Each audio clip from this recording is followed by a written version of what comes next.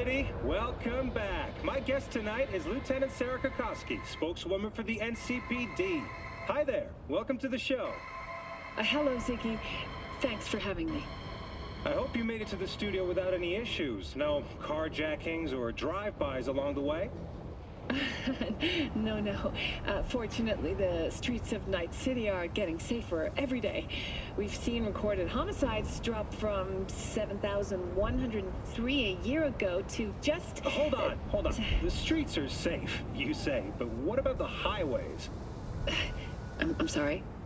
You heard about the shooting off the Route 1 exit, I trust. Half an hour before any response team arrived on the scene. Over 700 rounds fired in that time. What happened?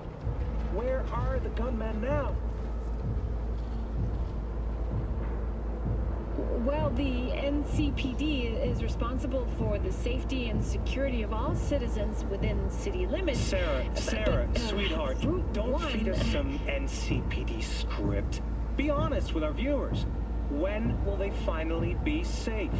When will they no longer need to carry a concealed weapon for a trip to the mall or to take their kids to play ball in the park? Uh, I, the, the NCPD is doing everything it can. Look at that cop squirm.